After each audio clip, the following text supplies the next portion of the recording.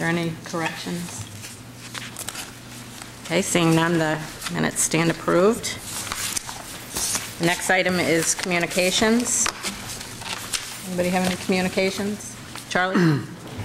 At the request of the board, I spoke to Roger Kelly about doing a workshop at one of our finance subcommittee meetings on negotiations, and he will be able to attend our October 11th um, finance subcommittee meeting, and he could- could come at 6 o'clock, so we could start a half an hour earlier, so he could give us an hour's presentation. And I also spoke to him on some other issues, and he will address those also. Okay, why don't we go ahead and, and set that up then, the Finance Subcommittee meeting for that, for that date will be at 6 PM. And it would certainly be good if everybody could come. I think it should be very informative, helpful. Um, I do have one communication about uh, the MSMA School Leadership Development Program. They have a, um, just a one-day seminar they give on basic boardmanship um, skills. Um, They're offering one at Falmouth High School on Saturday, November 19th, from 9 to 3. And this, I've been to this, and I found it very worthwhile. So I would, um, you know, encourage any new board members who, who can to attend. And if you'd like to attend, you just talk to Connie Brown, she'll sign you up. I also received yesterday um, a pamphlet called Health Risk Behaviors Among Maine Youth, um, which was a survey done through the Division of Maternal and Child Health of the Department of Human Services, and I'll just pass this around. It's kind of a sobering view of the at-risk behaviors, if any of you feel like taking a look at it.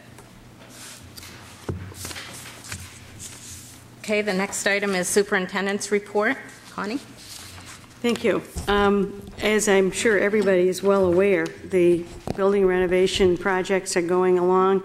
Uh, They may look like they'll never really get done enough for us to open school, but we can assure you that they will. I've asked uh, Sue Weatherby to uh, join us this evening to share with not only the board, but also anybody who happens to be tuned in tonight to get an update, um, a communication, she's given us a draft communication that will be mailed home to all K-8 students, and uh, also be available here to fill in. I'd just like to say right now that the communication back and forth between the um, people on the construction site and also our clerk of the works, uh, Dan Reed, who is also, of course, our maintenance director, Sue working as our communicator, sort of a liaison. Um, There's been a great deal of communication, and it's certainly helped to solve a lot of problems right on the spot. The asbestos abatement is substantially finished. We have some piece still going, um, but they are definitely going to make their August 26th deadline. I know that there was some concern whether or not that could actually happen. It is happening. Um, I know that there are still many questions from some teachers as to exactly which rooms will be set up, when can they get in and do the kind of individual teacher setup they would like to do. We have some answers to that for them, and we also, I'd like to just start by saying, uh, we have two phone numbers that we'd like anybody, teachers, staff, parents, to be aware of, and these will be published in kind of in neon flashing lights, I guess, over, um, maybe over the highway here at some point. Sue O'Quinn, who is our system scheduler, is uh, at 799 3427. I'll say that again 799 3427. That's a number that during the day um, is available. Uh, Sue usually is there. There is an answering phone if she isn't. Um, and it is a way to get a question answered or at least a question taken with some uh, somebody calling back later. And again, Sue Weatherby is often available at 799-2868, which is Community Services. Um, if they don't have the answer, they can take the question. Uh, we also would ask people now that the um, principal's offices are back in line. That is, I think the middle school is back in, right? Tomorrow. Tomorrow, you're back in tomorrow. To continue to call the regular school telephone numbers. Um, because people are there who can give you an update as we go along also, so that there are a number of ways in which um, you can get an answer to your questions, whatever they may be. However, we are going to be mailing things home. There was a piece uh, earlier in the Courier. The next issue of the Courier, of course, will have some updates. That doesn't come out until after school starts, so we're going to use this opportunity to update us. Sue?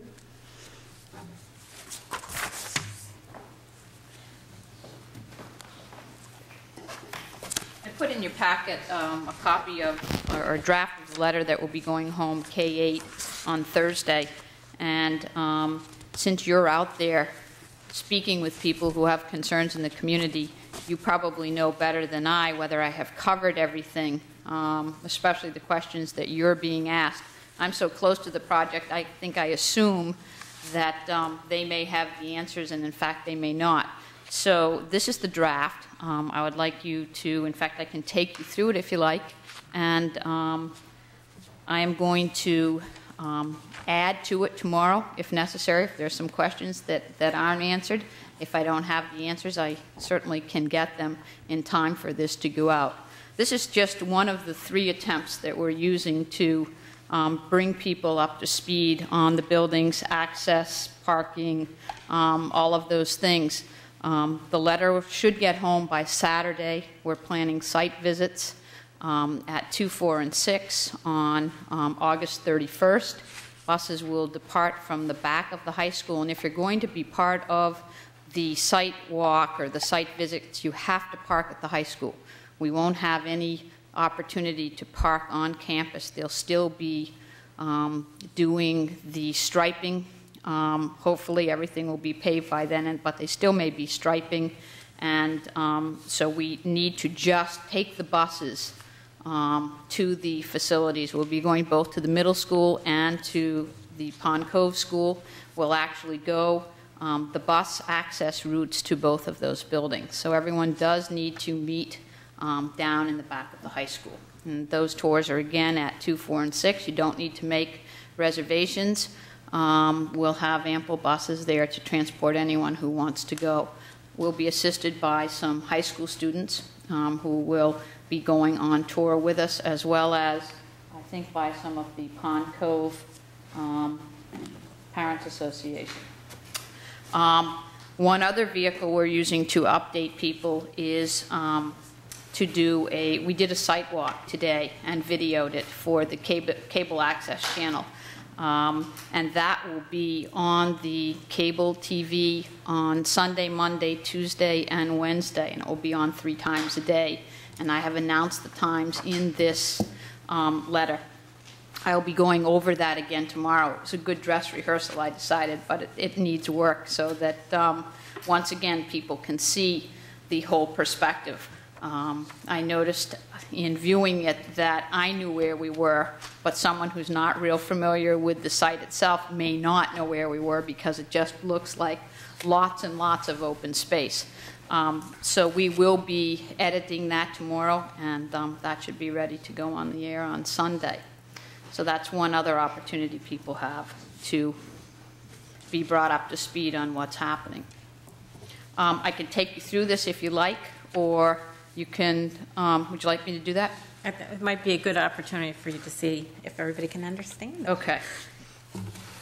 Um, As Connie alluded to, the abatement um, is basically done as of today. Um, Tomorrow, they'll be putting in the new transformer at the high school, so the middle school complex and the high school complex will be without power.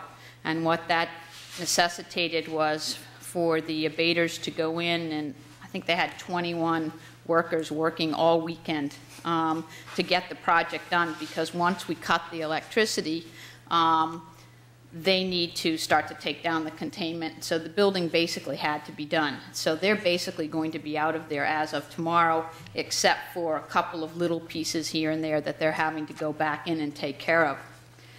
Um, As of August 22nd, we did get many areas of both buildings back. So the reentry and the cleaning process has been ongoing now for a couple of weeks. Um, If you look down the hallways of the buildings, you might um, be unclear as to whether or not we, we will be ready to open, but I think we will be. I think basically almost all of the rooms have the supplies and, and the desks and so forth back in. and all of the things that are going to happen in the next few days are really going to bring everything together. So it still looks like we've got a long way to go, but it's really just finishing touches. Um, Just for the um, community, we wanted to let them know that a great deal has been accomplished in regards to the site work. Um, Almost all of the underground work has been completed, the sewer, the drainage, the electrical, and um, to this point, all of the blasting is complete, at least all of the ledge that they know about, and in fact, it's come in um, fairly under what they had estimated. And so, as far as they know, the blasting has um, really come to an end. Uh, The new entrance and access road going to the middle school and the elementary school off of Scott Dyer Road will be paved and ready for the first day of school. There is a pedestrian walkway that goes along that entryway into the school, so the walkers will have access to the middle school. Um, The fourth graders will use this entry and access way as well, those that are both in the middle school um, 1930s building and those that are in the portables. The new access road at the middle school will accommodate buses, staff parking, parent drop-off, and visitor parking. Um, In regard to Pond Cove, the Pond Cove staff will use this entryway, um, as will visitors going to the Pond Cove School, because this is the access to the parking area for that facility. Um, However, the Pond Cove buses will not. The Pond Cove buses will use the new access road that comes through the high school and um, goes up past Holman Field, and there's a bus circle there. That's where the Pond Cove students will be getting off, and that will be permanent when the project is finished. So they will be utilizing that new bus route and access road. Um, Those children will be dropped off, and there will be a paved walkway that goes around the, uh, the bottom of the Lunt Building and goes up the back side of the Pond Cove School, because the main entrance to the Pond Cove School temporarily will be the back of the breezeway. Parent drop-off for Pond Cove students will be um, at the top of the Pond Cove School in the circle that goes off of Scott Dyer Road. And that's where the, where the walkers will also access. And what they will do is they will come along a construction fence um, between the playground and the Thomas Memorial Library, and that's how they will get onto the Pond Cove facility. I have a question. Yes. Will we still have use of the crossing guard? And where will she be? We still have her? That's a good question, and I don't know the answer to that. I would assume, um, You have two places where walkers are going to access the building. that's a good point, Charlie, I don't know. I would say that she definitely would need to be down by the new entrance to the middle school, Um, but we probably will still have some children that need to cross over to go to the Brentwood neighborhood that would be walkers from Pond Cove. So um, that's something I'll have to look into, and I will get an answer for folks um, on that. So I have a question. Will all buses, um, when they swing through the new loop and drop off at Pond Cove, they will then, I assume, drop off at kindergarten area if they have any students for there? And then they, do they go out and come back in the new entrance road to drop off fourth graders? There will be three different stops for those buses. Um, The way we have it set up, we have the buses sta- buses staggered, so some will be starting at the fourth grade drop-off, which will be around the portables at the middle school. Um, And then they will be going to the Pond Cove School and finishing up at the high school. Some will go the reverse. They'll start at the high school and, you know, so that we don't have buses lined up. So we do have bus orders established. We hopefully have them starting and finishing um, with a schedule that complements where they're going. For instance, we should have the high school, that K-1 pickup, um, be last if the buses are heading south on, on Route 77, so they can make a right-hand turn when they come out of the high school. So we've tried to take all of those things into consideration so that um, it will go, it will go smoothly. Obviously, the bus runs are going to be a little bit longer because there are three stops.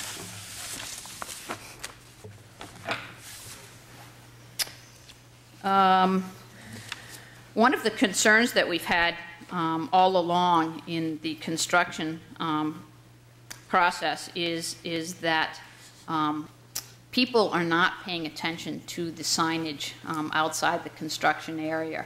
Um, In fact, I, coaching field hockey, have been in that vicinity in the evening a great deal, and there are bikers and joggers and kids from neighborhoods coming right through the middle of the construction site um, with little regard to the signs or the, or the gates or fences that are up. And I just can't urge people enough to really stay out of that area between the two school buildings. That is a hard-hat area, and there's absolutely no admittance um, between Pond Cove and the middle school without authorization. So I do encourage people to really pay attention to the, to the fences and to the signs. Um, Once school is in operation, there will be access to the middle school playground. Um, There will be a gate that will allow people to access that, and they will have access to the Pond Cove playgrounds. So there's really no need to be cutting across um, areas that they shouldn't be in. So we just encourage folks to, to stay out of there for their own safety. On page two, I indicated um, the opportunities they have to learn about the project, um, this letter, um, the site visits um, on the 31st, and then via the cable access channel. Um, Because Pond Cove or the middle school weren't putting out separate mailings this year, we tried to combine all of the information that would be very specific to middle school students and, and that information that would be specific to Pond Cove students. So um, I was assisted in this, this mailing by um, Beth and um, Nancy St. John at, at Pond Cove and by Nancy Hutton at the middle school. So in regard to middle school students, um, Nancy's just reminding them that um, the middle school hours will remain the same from 7:50 to 2:20, and um, that all students should be in their uh, homerooms by 7:45. Um, Students should not arrive, the middle school students should not be arriving to the school campus until after 7:30 a.m., as teachers are not on duty until that time.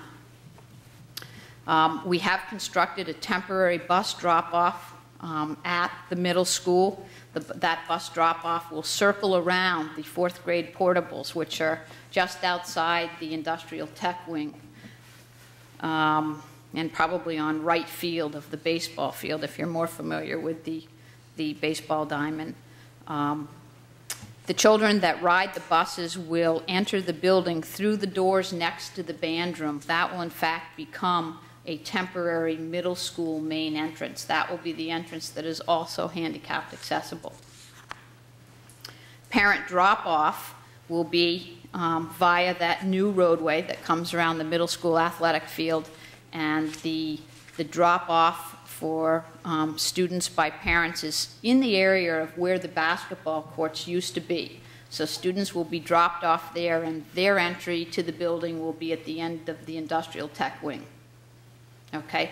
Walkers will also enter the building. Middle school walkers will enter the building there too. And that, as I said, was, is the handicapped access. Um, Lunch will be served in the cafeteria the first day of school. Um, The cafeteria is not quite back together. That is the last area that is being um, abated. Um, And they did run into some complications there, so, and had to take out the serving counter. And, and um, so the, for the first couple of weeks, we will be satelliting um, hot lunch from Pond Cove. So students may purchase lunch, but it will be hot lunch, or they may purchase milk, and they'll pretty much do that in the same manner as they've been doing it. Fifth and sixth grade teachers will meet their students on the playground the first day of school.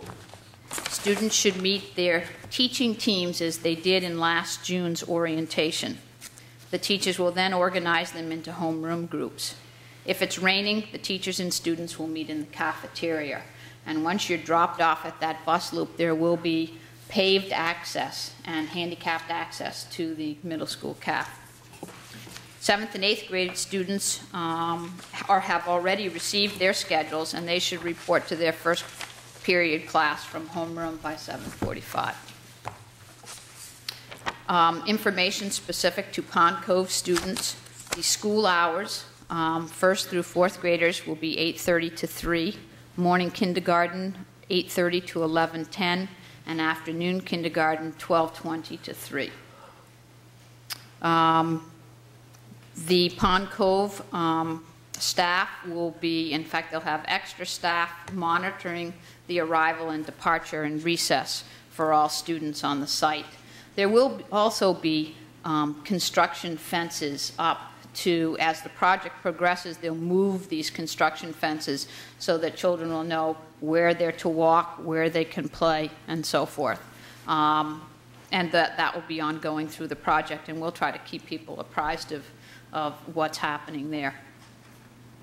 The specials, art, music, and physical education will be held in the classrooms this year. Um, Phys ed um, may be going outside, weather permitting, but after that point, it will be in the classrooms as well. Um, No student should be on the grounds prior to 8 a.m., and um, that's for walkers coming onto the grounds and parent drop-off, as there will be no supervision out there until 8, so we're asking parents to please not drop children off until 8. Uh, At the high school, um, the kindergartners and the first graders, um, the two first grades that are being housed at the high school are Mrs. Imprich and Miss Hassan's room.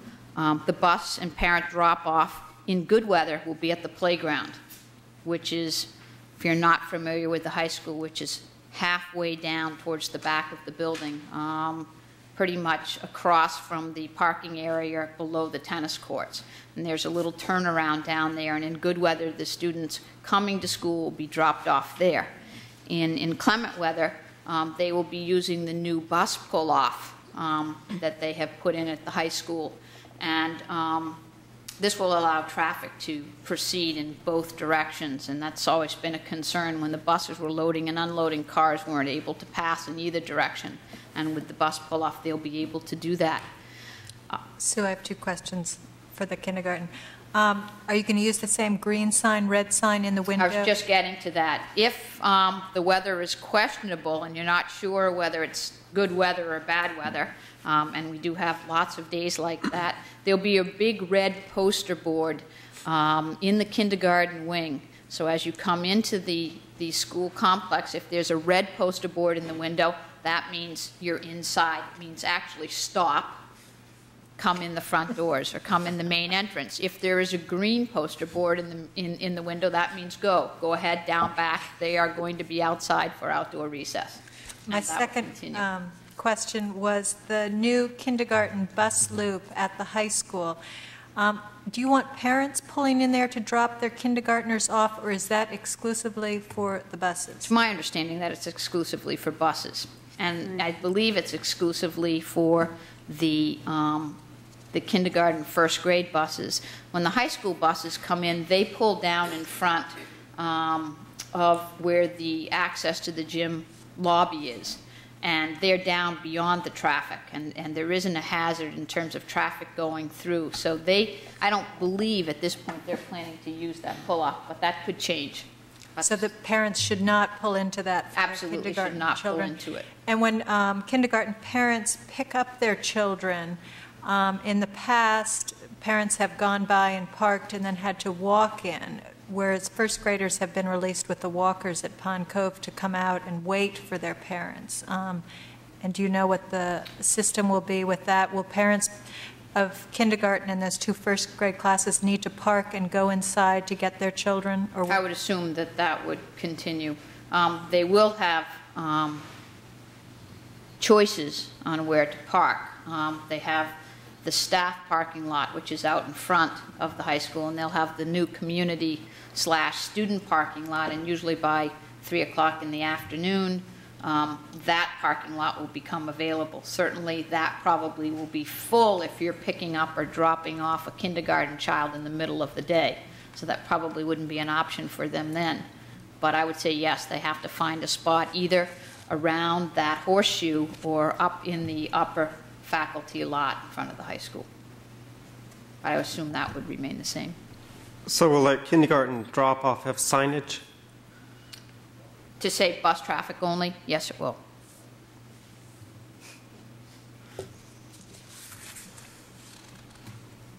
Okay, moving on, all pickups from, and I think we pretty much have covered this, for for kindergarten or first grade would always be from the front of the building. Um, There's never dismissal from the playground, so um, just arrival in the morning um, gets dropped off at the playground. Um, Moving on to the fourth graders. Um, The fourth graders, of course, will be housed at the middle school, but they'll still be on the Pond Cove schedule, so their time frame will be 8:30 to 3. Um, Walkers and parent drop-off and, and bus students will use that new middle school entrance, and everything in regard to fourth graders is the same as it is for middle school, middle school students, other than the time that I- they'll be in session. I have a couple of questions about the fourth graders. Um, If it is, they will be dropped off at the middle school and go out to the playground like, at the middle school playground like they did at Pond Cove, if it's good weather? And in bad weather? um. They'll go to the middle school CAF. Middle school cafeteria. The new bus loop that goes around the fourth grade portables, will that be restricted to buses only? Oh, absolutely. That whole roadway coming in there is only for handicap parking, bus traffic, and probably school deliveries.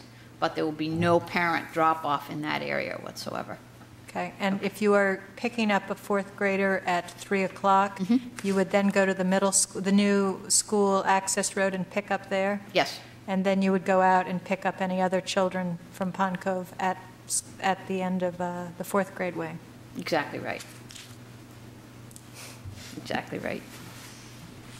I think I did skip the Pond Cove uh, grades one through three, walkers and parent drop-off, and, and I have said this before, but I will say it again, walkers and parent drop-off and pickup will be at the end of what was the fourth grade wing this year to be the second grade wing, Um, but I think we all know it as the fourth grade wing, and that's the circle coming off of Scott Dyer Road. Would, will parents be able to park in that little circle, or it will be as in the past where you pull up along Scott Dyer Road? Well, because we'll be dismissing walkers from that, that exit, I would say that it will be the same in the past. Probably the- the less traffic we have in there, the safer it will be for the children who are going to be walking. So I would say you probably should not park in that. That loop In that will be marked. I just can see parents in the morning pulling through the loop to drop off kids, and I don't know if we want that, or if we do. And that may be someplace that we want to have some sort of crossing guard or some, someone monitoring kids coming and going if parent drop-off is going to be in that area. And that's something that, that we'll have to discuss further. Yeah, and will the children that are, um, you know, released with the walkers and waiting for parent pickup, will they be supervised for a good 10 or 15 minutes? I'm just thinking if parents are picking up at a number of these three sites, Mm-hmm. if you have children in that age, it may take parents a while to get them. I would assume that that would be the case. There, will, will there be someone out there to monitor those kids that are being picked up by parents? You having a conference call? All right. I think the plan, part of what we need to begin to coordinate is the connection between the dismissal time and the buses. But there will be people that will be accompanying the various groups of kids as they, as they make their way down there. It probably will take two or three days, I would imagine, until we know what's happening at the other end, but they will be with adults. So could I just say one thing about your, um, your letter, which is very good, but just listening to all Beth's questions about the parent pickup, I, I think you should add a line in here somewhere that that discourages people from just gratuitously picking up their kids all the time, because we have even less space than before, it's even more dangerous than before, Um, and, you know, a lot of people just do it out of habit, and if we could just encourage, they'll probably figure it out soon enough, but um, I think it it might be a good idea to make it clear that it's go- going to be even more inconvenient to do it than it has been. Good point. Early dismissals. Um, The format at, at the K-3 will be pretty much the way it has been. Um, The office is notified in writing by parents that a student will be picked up um, or dismissed prior to 3 o'clock, and parents should go to the Pond Cove or K office to meet the child and sign them out. Um, Fourth grade students will bring written notice to the classroom teacher The teacher will send all notes to the Pond Cove office. Pond Cove staff will notify Mrs. Robinson in the middle school office, and then parents should go to the middle school office when picking up a fourth grade student for early dismissal. And I think that's important. Yes. Okay. I think it's really critical for folks to, uh, for parents to know that it's going to be very difficult for us to forward phone calls that come in, so that we really do need to have the written notes. Um, When we have children on three different sites, in order to accomplish that uh, phone call that comes in at 1 o'clock or 2 o'clock in the afternoon would be very, very difficult. So we really need to, uh, to ask that. Right now, there, there is no communication between the portables and the main buildings. There will be intercoms installed shortly after the start of school, but in terms of opening schools, that was not a priority, and I guess it was not part of any of the contracts, so that's something that we're trying to, to work out pretty much in-house with Dan Reed. So it will happen. Um, The fourth grade portables will have communication with the middle school office, and the Pond Cove portables will have communication with the Pond Cove office, but that will not happen on day one. So it will require a messenger actually getting these messages um, from the offices out to the portables. If, certainly in an emergency, we're happy to do that, but it's, it's not something that we want to make part of, you know, the daily routine if we can avoid it. Um, The school lunch program um, for Pond Cove students, hot lunch will be available as usual. Um, Milk may be purchased for 30 cents. Students will use the envelope system at Pond Cove as they have done in the past, and um, those will be collected in the classrooms each Monday morning. The first grade that is being housed at the high school will be getting hot lunch in the high school CAF. And, and just for folks' information, we do have the time frame that they will be in there. Um, That is a time frame when high school students do not eat.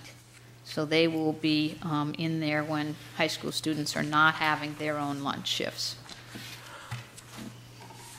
The middle school, yes. In the past, um, I believe, maybe I'm wrong, that when uh, the high school hasn't been eating, they've been using that for study hall, and I assume that that has been entirely cleared for this time period, that any study halls or whatever will be elsewhere. I think I'd like to defer that to Mr. DeFusco or Mr. Ray.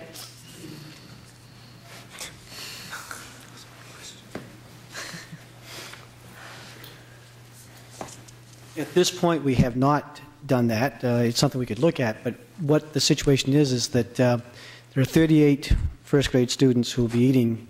Uh, The tables will be set up, up front and cleared, Um, and we did not see that it would be a a problem. However, if you'd like us to look at that, that's something we can can look at. Uh, It's a large room, and we felt that uh, uh, a relatively small number of people between the two lunch periods that would be there.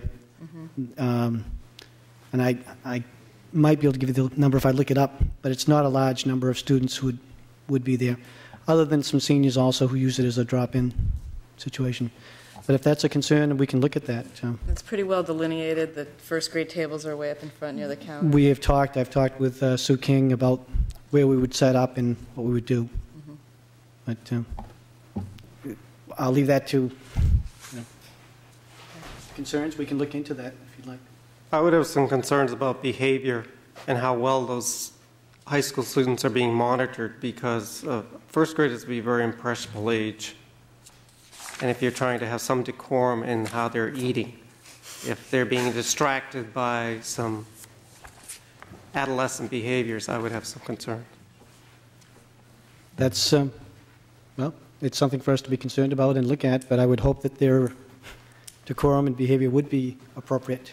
And I, and I do think, for the most part, uh, uh, the experience we've had with the younger children in the building, that the, the uh, upperclassmen have been pretty good with those children.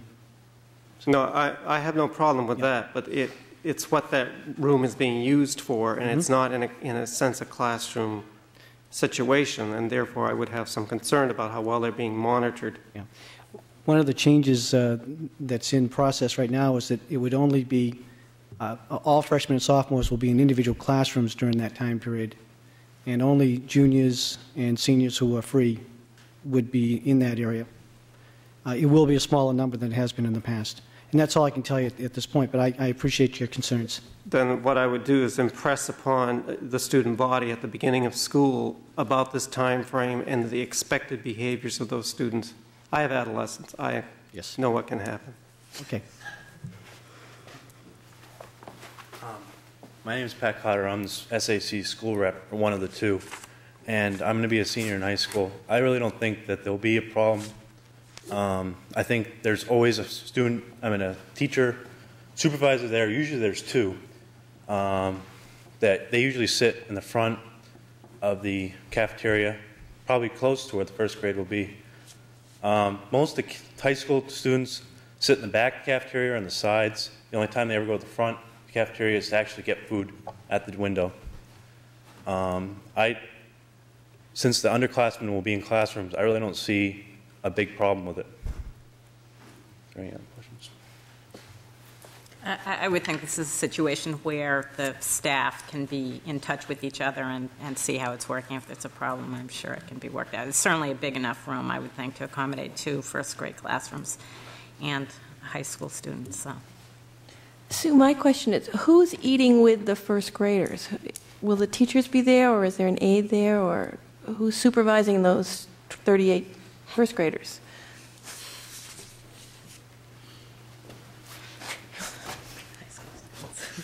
The teachers will, will not be at that particular time, but there will be two adults, two uh, aides that have been working in, in Pond Cove either or at the first grade. Um, And along those lines, um, is it the teachers or the aides who will walk them to the cafeteria? That's a long walk.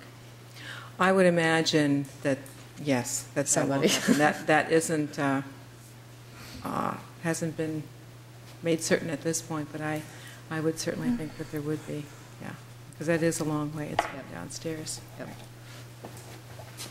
Sue, I would suggest you add under um, middle school, fourth graders will utilize middle school cafeteria, that hot lunch will be the only thing available all year to them. Um, Because I think it might be deceptive that if they read the middle school portion at the beginning and think à la carte is available after the first few weeks, that maybe it would be for those children also. And my understanding is it won't be. Okay. Good point. Okay, and about the only thing that we haven't included in this um, letter home to parents is that um, really pertains to high school students and to the community.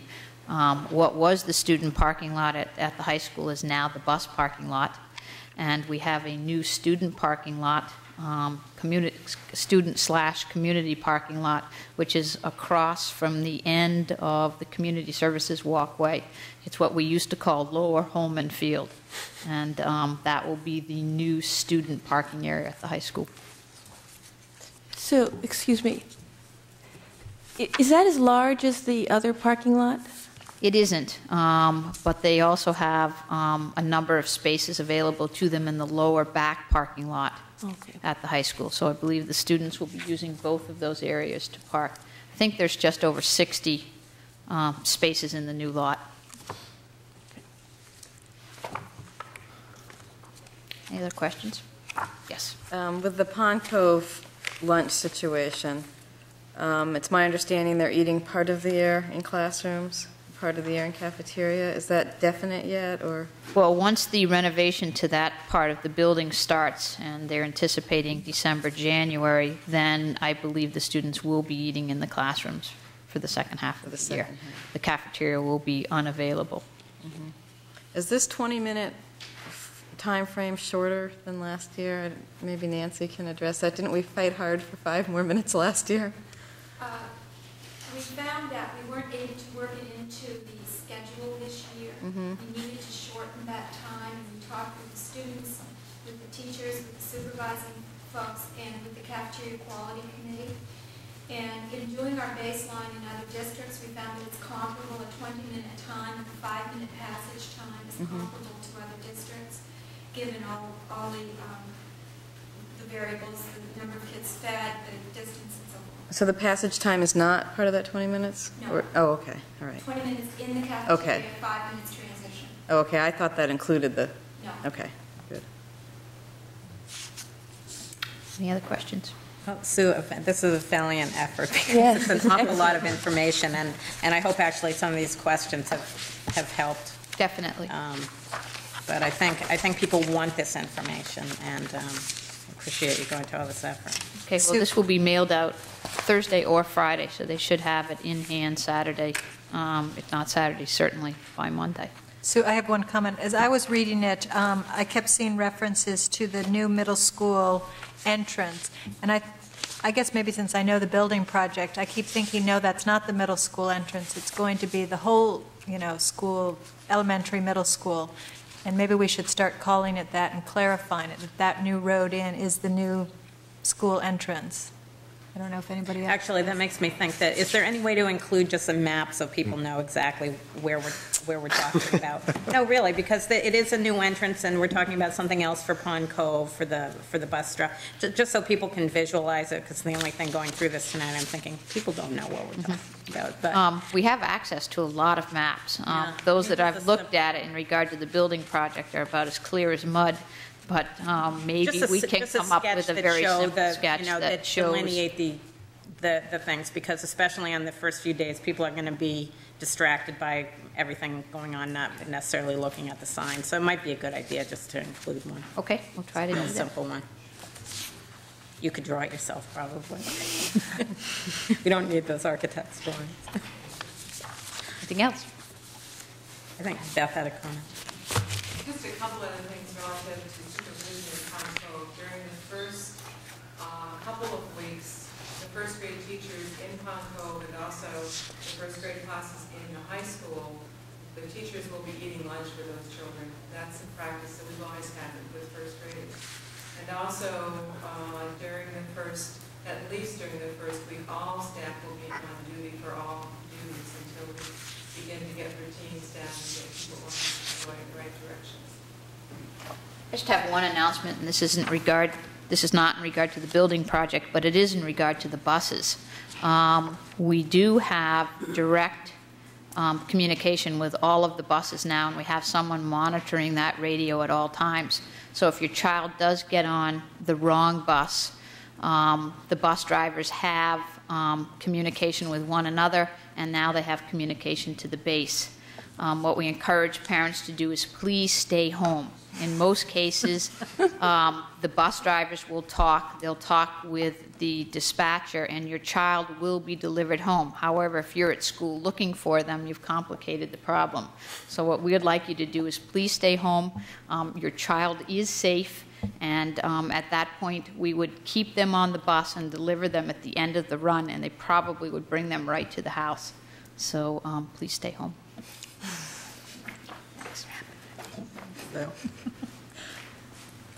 Thank you very much. Um, The fact of the matter is that what Sue has been going through is just a really, um, a small portion of the kinds of things that, um, that she is monitoring as well as other people and the administrators.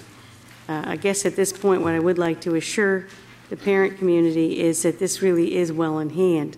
There will, however, be moments when everybody will have to go slow, will have to keep calm, and we'll have to understand that establishing the routine this fall is going to be a little more difficult than it normally is. So your patience and your understanding will be appreciated. Uh, But I think we've tried very hard to think of all the various uh, possibilities. This is a good example of most of them. No doubt a few other things will be occurring to us. Uh, And as the uh, building increasingly is put back together, staff will be in, in some cases already is in, in some cases will be available um, either Friday or Monday of next week, and of course, all staff back in on Tuesday and Wednesday, with the children coming back in on Thursday and Friday. So um, it's, it's actually falling into place and should, uh, but I do realize that there's bound to be a few glitches, so appreciate your patience. Any other question or thought? Very good. Uh, When I think about the normal uh, August board meeting, we talk about opening school. This is a challenge indeed, and we appreciate everybody's cooperation. The second thing on my report tonight was a high school accreditation report. Um, All board members received that as part of our workshop, shared administrative school board workshop um, a week ago, and that uh, I assume you've had a chance to look at it. Rick is here to address any uh, particular questions. I would just address, um, remind you that this report came in at the end of June and that it has not yet been distributed to staff. They will get this, of course, next week, and I'm sure, looking forward to looking through it. It is a positive report. It commends Cape Elizabeth High School for many of it, of it, of the obviously fine programs and hard work of the staff, um, the student body, make nice comments about the student body, too. And um, in general, reflect, I think, uh, what we like to think Cape Elizabeth High School can be and is. There are recommendations for things for us to work on, and Rick is here to address the process we will use for them. Okay. Just a reminder, this was the culmination of a two-year study which we did in-house before the visitation group came last spring. And I believe I reported it, I think it was the April meeting, in which uh, um, we mentioned that the, the uh, evaluation had been completed and that a report would, would be forthcoming. Finally, the 44-page document, document did arrive. Um, and one of the things I must say, it was a, very pleasing for the faculty and myself going through the process. It was really a, an opportunity for us to kind of self-evaluate um, what was going on at the high school. The recommendations that are placed here, we are not required to follow all of the recommendations. What my uh, task now is over the next two years is to come up with some key issues or recommendations from here, and at that point develop that with our high school goals over the next two years. And at that point, the, the accreditation team will we will send forward our recommendations or our how we have addressed the recommendations that they have made. But it, they allow us to, to decide how to prioritize those. And a couple of the key issues have to do primarily with systematic issues. If you look, a lot of it has to do with curriculum, more so in the high school, but how does that coordinate with middle school, high school? And there are some real areas here that we knew that, that we needed to develop, and it just reinforced that.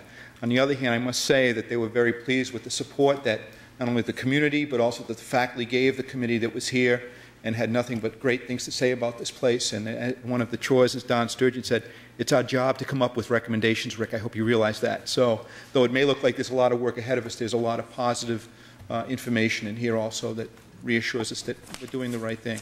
I want to add one thing before we get on to this concerning what Mr. Ray mentioned.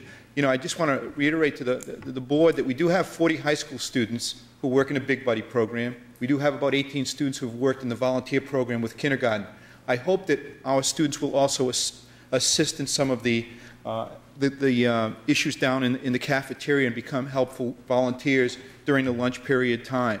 Um, you have to realize many of these students have been there as kindergarten students, but also as extended day kids when they have gone through our halls uh, two and three years ago uh, with community services. So that a lot of the kids are familiar with the area. And our students, I believe, are, are very uh, appreciative of that and, and, and, give them their space. And I think it's a very, I look forward to it as an, a real challenge for us and our kids um, to, to, really show that the elementary kids that they wanted and, and are welcomed. And I think if you talked with the kindergarten teachers over the last couple of years, they have had nothing but positive things to say about how the high school students have treated them.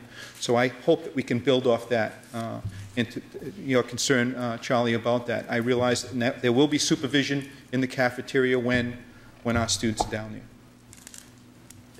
We have good students, and we have very helpful, accommodating students, but we are pushing this particular body of students' space, and we're starting to infringe more and more on that space and this is one of their areas of hangout. That was my concern. Yeah. And one of the things, as you mentioned, I will, when we have our first day assembly, that'll be a major issue that we'll talk about, that there, there are more youngsters in our school that we need to, to you know, appreciate and, and help out. So uh, I think that'll come, come forward. Any questions on the accreditation? Yeah. Mine was on process, and you explained a little bit of that. I would like, once the staff has, has read this and had some input and you've had some meetings concerning this, I'd like to have some kind of a board workshop okay. with the staff because I, I think it's a, it's a total community effort mm -hmm. in how we and, and one of the things I hope to do, uh, Charlie, is, is also um, as, as, as the report is divided by departments and categories, my intent is to go back to the departments, look at the recommendations, and then report back to the entire uh, faculty as far as where they see them going, and then presenting to, in a workshop fashion uh, to the board and community uh, where we plan to go with it. So I agree with you. I think we need to do that. it was also interesting that one of the themes that seemed to come out of this process was the time away from curriculum and curriculum development to, to get ready for this inspection. And that was evidently quite evident in, you know, the interviews. The one thing that really seemed to stand out, and it was under general observations on page three, and it was the fourth paragraph. And I think it's something that we hear about in this community a lot. And it has to do with how the committee members were very impressed about the positive aspects of the educational opportunities afforded our Cape Elizabeth students. However, they recognize some as- aspects that needed address, addressing, and one of those is the pressure that this community and the parents put on students. And that's to be like everybody else and to uh, aspire and, and go on to four-year degrees and that kind of thing. And it's a tone that, that, that an outside investigating um, unit keyed in on, and I think it's very pertinent, and I think it's something that we as a community need to address. Okay. I agree. Beth? Um, I just had one comment. Um, I really actually enjoyed reading this because I learned a lot about the high school and the high school staff that I probably didn't know before. Um, And I guess one of the things that I just want to be sure that happens from this is that not only the high school departments look at the recommendations, but that the departments throughout the system look at them, because a lot of the recommendations are to, I know in um, social studies and different areas, to look at it more on a, um, a whole system Exactly. basis. And that's one of, again, starting this year to look at that and and talking with Nancy about having social studies, English, math, start that coordination of. Yeah, and so that Great. this report should be shared Yeah, with and it- all of this. It really, I think it's very accurate as to, as to what our needs are and, and where we need, where we need to look. So, uh, again, I think, uh, to, to, to uh, compliment the committee that was here, of 14 people, I think in the four-day period and through their interviews, they, they came up with a very concise but yet uh, very accurate, uh, accurate, uh, you know, situation for us. So, Thank you. Anybody else? No, Rick, I I would just like to say I agree with what the other two board members have said, and I really did think it was, it was remarkable um, what a fair um, view they took of the school. I mean, they should, they, they really saw the um, the positives and they saw the places we need to work. What was gratifying to me was that it was obvious in a lot of their comments that they heard from the staff that they know they, you know, that there are places that we need work. That, that's very encouraging. It's not like anything in here is going to come as a great shock. Most of these things are things we're already working on. Um, So, so like Charlie, I would agree that it would be good to keep the board and the community, um, you know, apprised of what's going on. And um, so we'll just look forward to hearing from you on Thank you. how you Okay. set up. the And as, as you go through this at any time, you know, if you have some questions, uh, give me a call if there's some issues here that you, that you'd like more clarity or clarification of, and we can, you know, either over the phone or have you come in for a meeting and, and talk about them, or meet with a specific department if you'd like. Great. Thank you. Thanks, Rick. Thank you, Rick. Um, Moving on, I think the uh, next item I'll just touch on quickly because there are a few other business items here.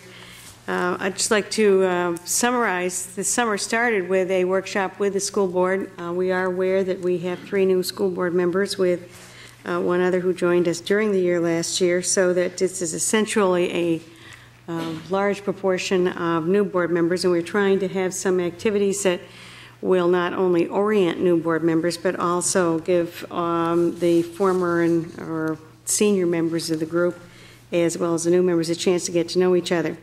One of those opportunities was uh, in July. We talked about each board member uh, listed um, thoughts they had about goals, issues, areas that they thought the, uh, that we should be particularly focusing on this year. Uh, We had some discussion of those at that point. I then summarized those, and uh, we had further discussion. Uh, Those were also looked at uh, last week by a workshop where every board member and every administrator was present. Uh, The administrators then continued meeting for, uh, for the next day and a half, talking about ways to actually implement those goals, as well as a number of housekeeping and uh, what we usually call nuts and bolts this time of year, some of which you've already heard. I think this process now is well established. It is one that we started four years ago, or three years ago, I guess, to be more accurate. And um, I feel now that we have an, kind of an historical context. And as we, uh, we finish this process for this year, Uh, I'll make a very quick comment under seven on unfinished business on the goals, because I know that they're really there, almost there, but not quite. Um, That summary becomes part of a continuing record, and those of you who are new to the board can look back over that record. I shared with you some of the ones that have been set in the last three years. Um, Nothing ever starts at ground zero every year. It's always a continuation, so I think the process is working for us, unless you have some particular comment. Um, I do have a summary started of the the administrators' workshop, and due to a few things that have happened in the past week, I haven't finished it. But it is about half done, and you will get it as soon as I get it finished, and make sure that if you have any questions, please feel free to ask. Okay? Okay. And that's my Any report. questions, comments? I would just like to say, I think the workshops were very helpful, both for board members to get to know each other and for the new board members to get to know the administrators, and um, I think this is a good process Mm. going through. Thank Uh, The next item is school board subcommittees and reports, and the first is finance subcommittee. I'll turn it over to Charlie. Uh, We met as a committee of the whole, meaning the whole school board was there at 6:30 this evening in the superintendent's conference room. We signed the warrants, uh, we reviewed the 93-94 year-end appropriations report, we reviewed the special revenue accounts and federal grants for the past year, and we dealt with the compensation for building, for our building owner representative and communicator, which is Sue Weatherby. Okay. Any comments from everyone who was there? No? Uh, Moving on to school building committee. Um, Connie, did you want to summarize that meeting? Right, we had um, a school building committee meeting in July that uh, tried to establish some rules of the road for how we're going to deal with change orders, uh, as well as the, uh, of course, the major part of it was the update from the clerk of the works, Jim Gilman, uh, as to exactly where we were at that time, and also uh, a summary from the school's point of view from Sue.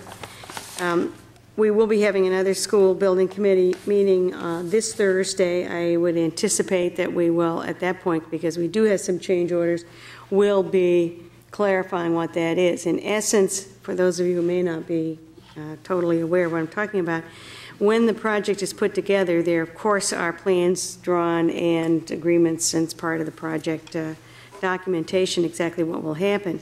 In fact, as you get on the field, things change. That is, some conditions are hard to predict, some you simply don't know. For instance, you heard a comment from um, Sue about blasting, which was discussed at some length uh, at our last meeting with the uh, planning board. The concern about blasting being big enough so that we had a condition put on our uh, acceptance that we would be notifying parents uh, should blasting have to occur during school time. Uh, I'm relieved to say that, as far as we know, it has been finished. We always have to say, as far as we know, because there may be some condition that, that crops up that we don't know about.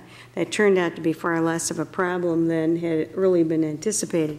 Other uh, change orders, however, deal with things like, um, uh, for instance, we have taken a good look at the accessibility. You heard Sue again going on about a loop by the um, well, what is now Charlie, or used to be Charlie Freeman's office, or the IA wing.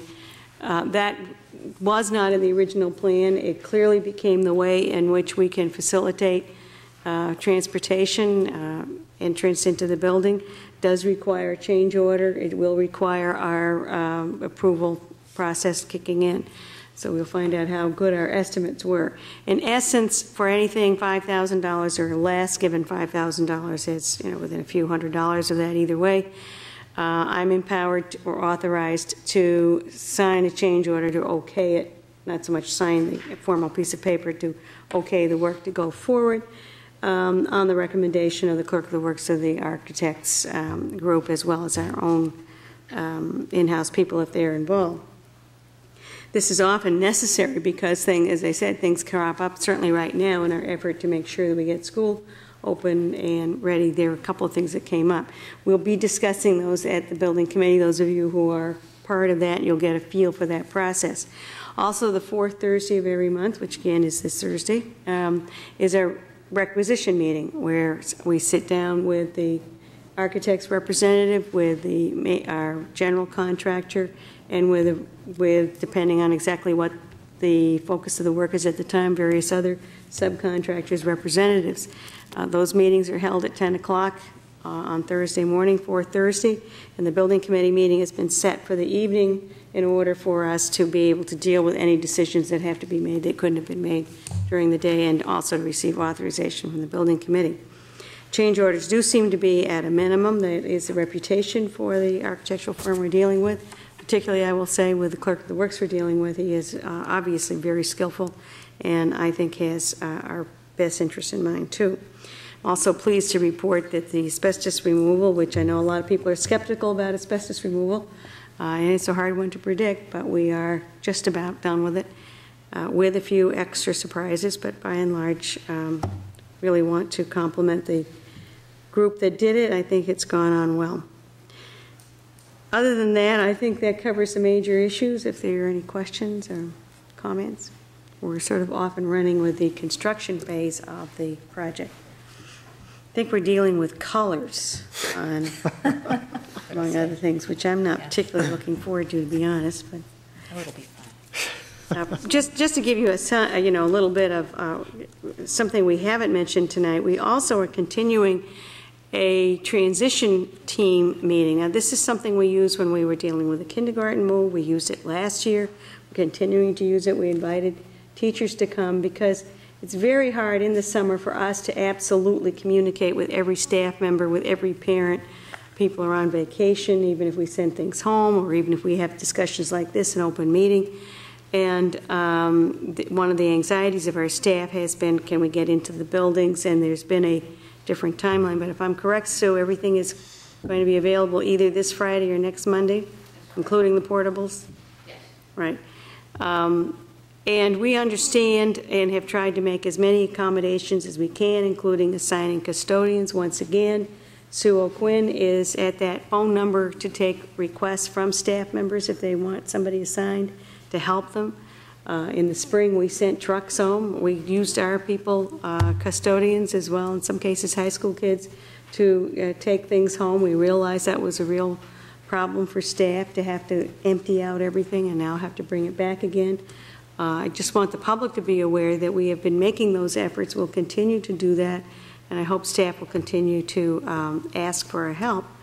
Um, One issue that was brought up at a recent transition meeting we had was about, um, particularly for primary grades, what about sitting on the floor? Tiles have had to be removed, and it doesn't look as bad as it sounded like it was going to look. Actually, it doesn't look too bad, but still not something that you would want children sitting on. Uh, One suggestion from the contractor was what I had, I don't know any word to describe them except to call them little prayer mats, sort of yai by yai pieces of carpeting. The idea was to have kids stack them in the corner, take them, sit down on them. Um, When we talked to teachers about that, they really did not think that was a particularly good idea. So we have gone forward with uh, finding a non-allergenic carpeting at a reasonable price, because at this point, we obviously don't want to be spending monies that need to go into the, um, you know, refurbishing the final building. Um, And cutting, it- having them cut it, is it nine by 12, Sue? Yeah, nine by 12, so that, um, these, of course, are primarily for primary grades. They will have a covering, and there'll be some covering in other kinds of rooms. Um, So we- we're putting our heads together in every way that we can to come up with things that will be user-friendly. Um, And uh, if anything uh, people are worried about out there, please let us know. We will try to hear your concern and deal with it. So much for the building. Okay, moving on to policy subcommittee. Beth? Um, I just wanted to report that we met one time over the summer as a full committee, and then we had another meeting with the superintendent, chairman of the school board, and myself as um, chairman of the policy subcommittee to discuss our goals and the direction the policy subcommittee would take for the year. Um, I'd like to thank Connie Brown for all of her hard work in getting the policy um, manual to every board member and um, really sorted through. We really appreciate that, and we will be using her detailed lists of policies that need to be um, gone over or reviewed um, as the year goes by. I'd also like to thank Rick DeFusco for his hard work in coming up with a substance use policy for the high school that hopefully we'll be working on to um, use for the whole school system. Um, But we really appreciate all that work. Thank you. Very good. Yeah, I'd just like to reiterate, thank you to Connie, that um, policy book was getting to be somewhat of a nightmare that I would just put in a drawer and try not to deal with, so I really appreciate it. Dream on. Right. It was big enough for a pillow, but not that comfortable. Okay, moving on to unfinished business, it's 1994, 1995 goals, and as we already said, we're, we're in the process of working through those goals, and we've asked Connie to do a formal summary of our goals, so we'll be having um, a full discussion of that at our September meeting. I didn't know if you wanted to add anything else to that. No, I just, uh, I I guess just an addendum on the policy. Seems like for three years we've had um, finished reviewing the policy um, book, so it's going to feel real good when we finish that. Uh, We now have it in the condition that we can at least review it. I I guess, again, I would just point out how important it is for board to have process.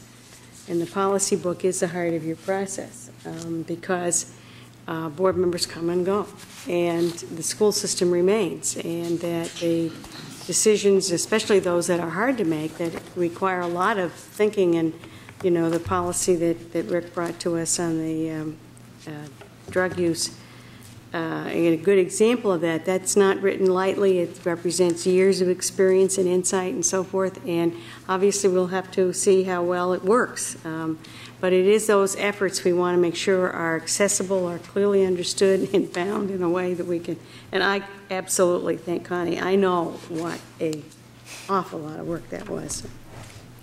So let's see, moving forward. Okay, the next item is new business. Uh, The first is formal acceptance of two alternates as per town council meeting of August 8th, 1994. Connie? Yeah, okay. Uh, I have distributed to each of you the um, memorandum from uh, Michael McGovern, Town Manager, to the Town Council. I think all of us are, all of you are aware that in August, this um, proposal was brought, actually was brought back to the Town Council and was voted on. um, And since it, I believe, uh, when you take your vote, you'll be reading it. I'm not sure it's necessary for me to read it. But in essence, what uh, Michael was recommending to the town council is that we work out some way of using some funds from the project, in this case, Project Earnest, interest earnings, uh, to fund those parts of the project that were regarded as community parts. That is, things that were not ever part of the original project estimate, but that as we went through the planning board process and as we went through discussions with the architects and various uh, community people, it became obvious this was the time to do them. Uh, However, it was also difficult to get them into the basic bid.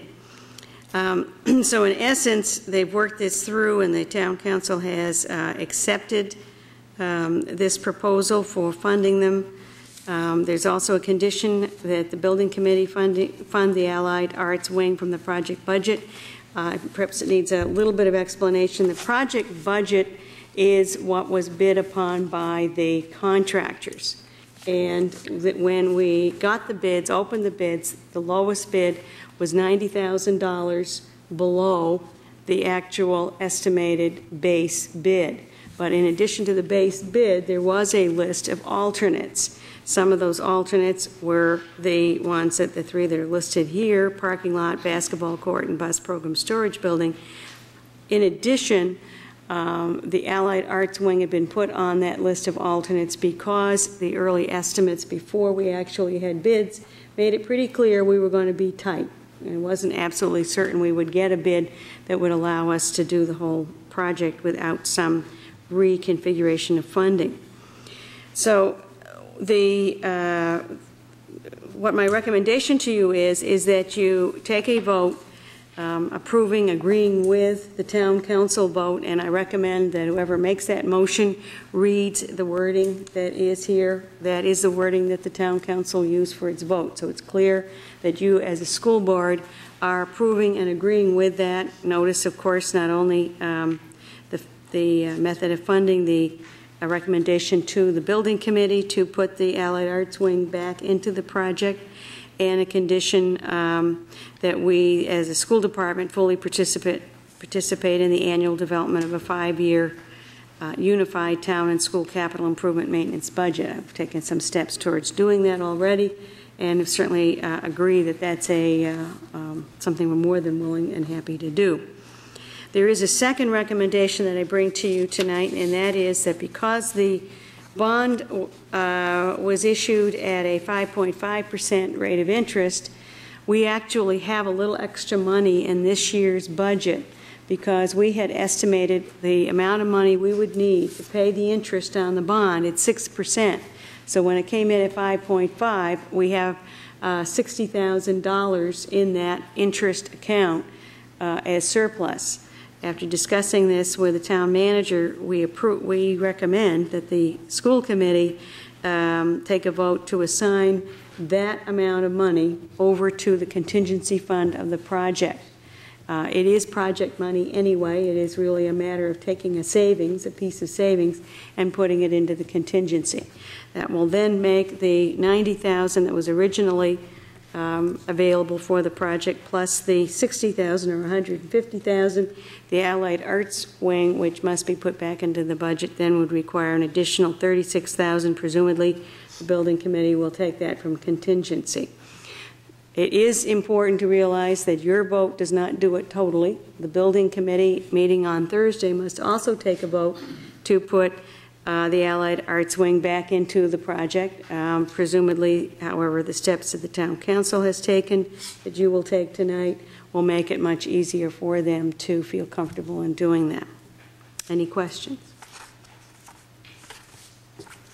I'd like to make a mo- motion that we accept the town council's action at their August 8 meet- 8th meeting to, one, spend 117000 out of the project interest earnings to fund the parking lot, basketball court, and bus program storage building. Two, condition that the above funding up- upon the building committee funding the Allied Arts Wing from the project budget i.e. the contingency or savings from other areas. And three, also have as a condition of funding that the school department fully participate in the annual development of a five-year unified town school capital improvement maintenance budget. Seconded. Any discussion? All in favor? Seven zero. Okay, I guess we need a separate motion. I hope, I, I will try. Um, I would like to make a motion that the school board return a sum of 60000 from the 95 budget provision for interest payment on the bond to the project contingency fund. Seconded. Any discussion? All in favor? Seven zero. Thank you. Very good. I'd just like to make one comment. Yes. I see this whole process as a one-town concept process of, of the town council and the school board going out to find the necessary funding and a, and a, a means for achieving what needs to be done, and that's the total renovation of our buildings. Okay. Moving on to personnel requests. Okay. Um, Well, the first item here, when I sent out the agenda, was resignation. Uh, It now has to become resignations. We had one in your packet from Leslie Knowlton, who has been a uh, half-time kindergarten teacher, Um, and that is in your packet. What you just received tonight is a letter from Beth Henderson, who is leaving us to become principal of Yarmouth High School. We certainly congratulate you, Beth, and also thank you um, deeply for all of your work, for your modeling of, I think, uh, a special kind of behavior with our children. Um, We could say a lot of, of things, I think, about the last three years, but um, looking to the future, I'd also like to say that I think it's terrific that a high school principal has learned to know the elementary world as well as you have. Too many secondary teachers, and I, I won't pick on high school administrators, we have a couple here, but um, it is really, I think, very, um, very special that you can bring that kind of work to the high school. It certainly should be um, a rich asset. Um, You have had Beth's letter. I don't need to read it out loud. It is a lovely letter. We thank you. um, essentially thanking all of us for the opportunities you've had here, and we in turn thank you and wish you the very best. So, we have those two resignations. There should be, somebody like to make a motion on that. Sure, I move that we accept the resignations of Leslie Knowlton and Beth Henderson. is there a second? Gail, any discussion? I just kind of like to reiterate a little bit of what Connie said and to say to Beth that a lot of people will miss you. And thank you for everything and best of luck and happiness in your new position. I would just like to say that also, and I have enjoyed working with you over the past year as school board member and before that as a parent. Charlie? There have been a lot of hard things I've had to do on the board, and I think one of the hardest things I had to do was the night that Beth called and asked me to be a, a part of the site visit committee interviewing process, and, and I agreed with it, but I told her with regret. It was very hard not to find something wrong with Beth in that, in that, in, during that interviewing process. And whatever reservations I raised, it was interesting that, that the, the broad range of people that Beth had brought into the process, the high school student from one of her previous um, schools where she had been an administrator was able to, to answer my concerns about certain situations. And, and I think that's the type of administrator that she will be and has been at this school, and we will miss her. I would just like to reiterate, Beth, we've dealt uh, on a lot of tough issues um, together, and I I just want to tell you that I still have that, that egg you gave me after the first day of school last year. It meant a lot to me, we'll miss you. All right, where are we? It's time to Voting. vote. Moved and seconded. Okay, all in favor? Seven zero. Moving on to leave of absence. Okay, uh, I have a, included a letter in your packet from Heather Tanguay, um, who had uh, uh, maternity leave during the past uh, semester, and originally had intended to come back this year. You can see from her letter that uh, being a parent has opened up her eyes to the fact that uh, she really would like to take advantage of the contract provision to have a year of child childcare, unpaid leave, and is making that request of us at this time. And do I hear a motion? Beth? I move that we ex- um, grant a one-year leave of absence to Heather Tanguay. Mhm. Second. Priscilla? Any discussion? All in favor? Seven zero. Thank you.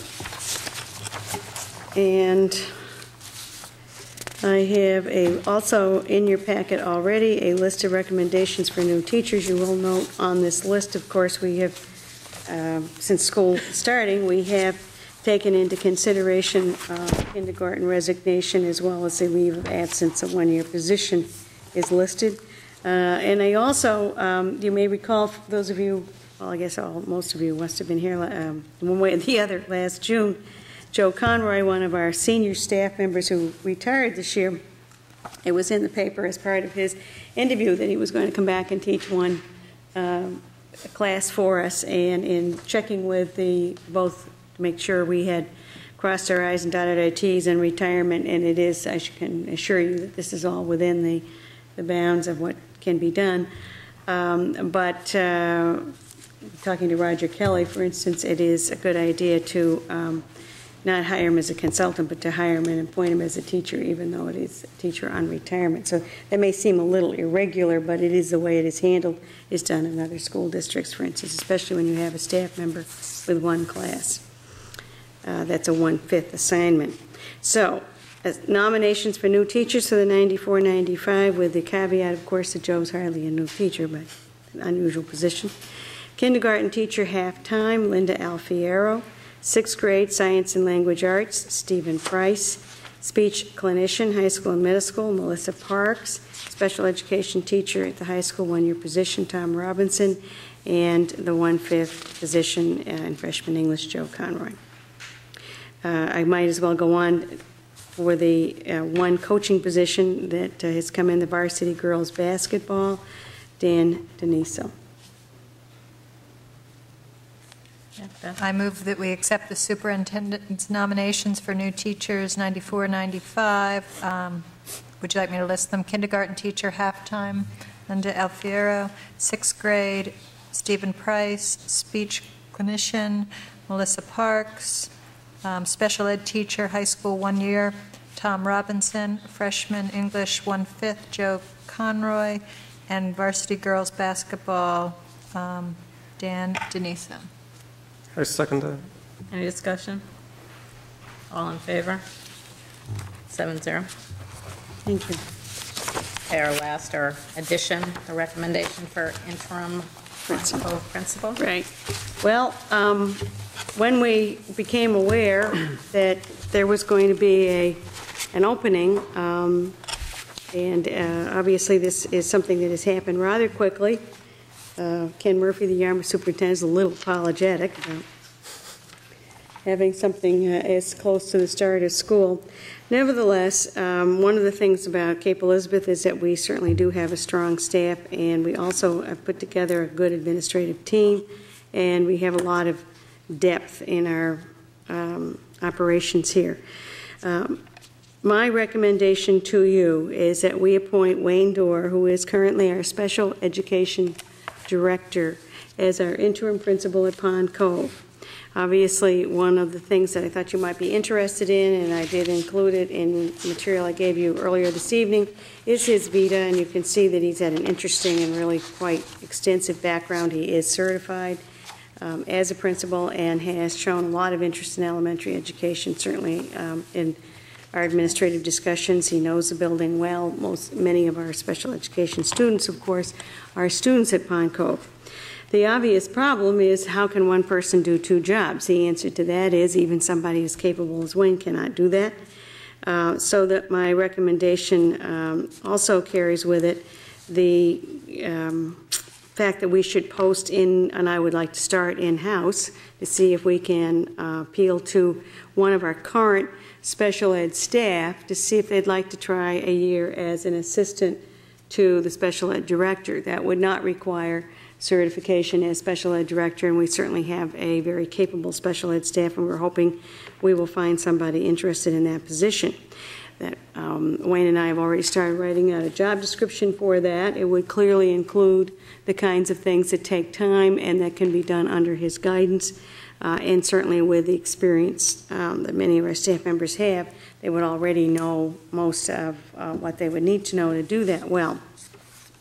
We would then be able to hire um, a teacher to fill the special ed um, position because at this time of year, frankly, um, we're not going to be able to do a successful principal search. This is not a time when you can go out for an administrator, um, whether either the principal or special ed director, and we feel that this is the best uh, uh, and frankly a good solution to our, our dilemma. So what I'm asking you to discuss and then vote on is the recommendation of Wayne Dorr as interim principal. That would be, um, my recommendation would be for the year, that you would put, we would put together a search committee and probably by March 1st, because that is about the time when school departments sort of crank up and school people start thinking about, well, maybe I'd like to try something else next year. And a good search does take several weeks, if not two months. Um, and that would give us time to um, open it up to those people who are in-house as well as those people who are out in the larger community. I also want to thank very much and compliment the team we have there. Nancy St. John, our assistant principal, is working on a principal certification, has not quite finished it, uh, and is very much a part of this team, very supportive, and will be, of course, a big help to Wayne in moving forward. Uh, we have an excellent uh, uh team leaders group at Pond Cove. These are all folks who have been very much involved in all the discussions about placement changes as well as the renovation and so on. So we're satisfied that much as we will miss Beth, I'm not trying to say we won't miss you, um, that we will have um, a procedure here that will allow us to make a smooth transition.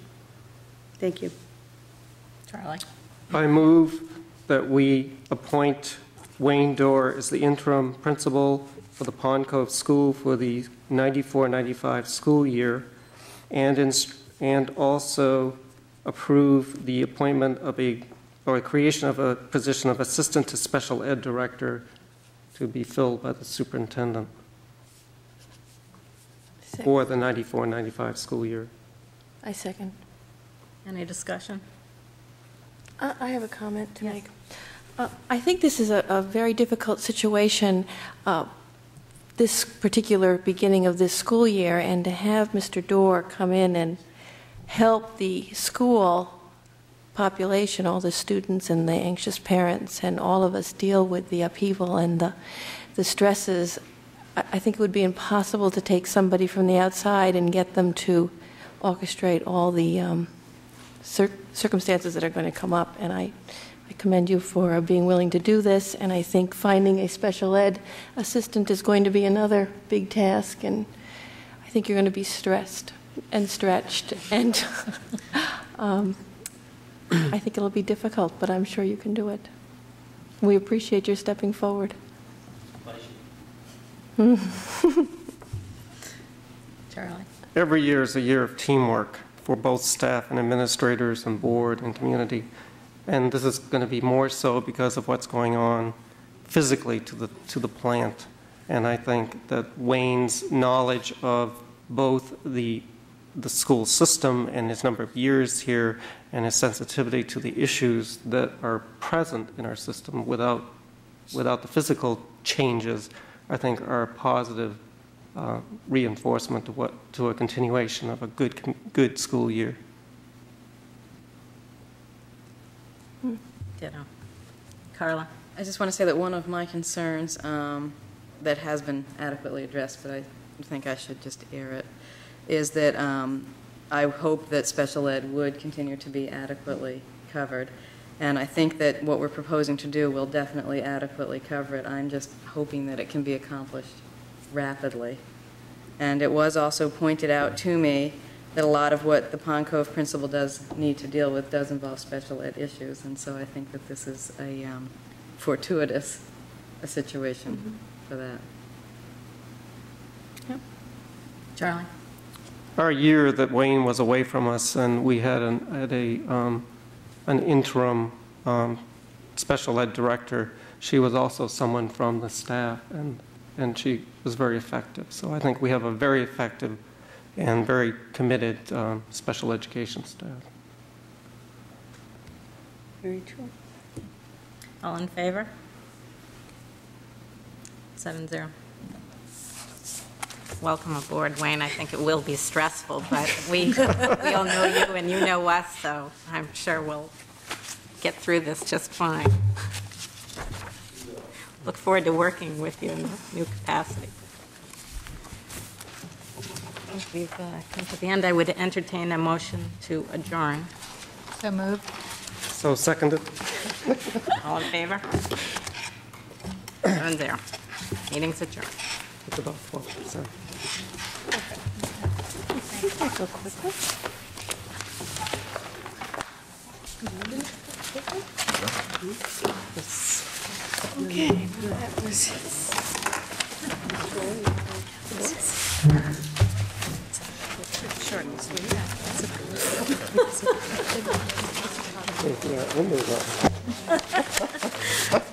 It's gonna go downhill for an hour.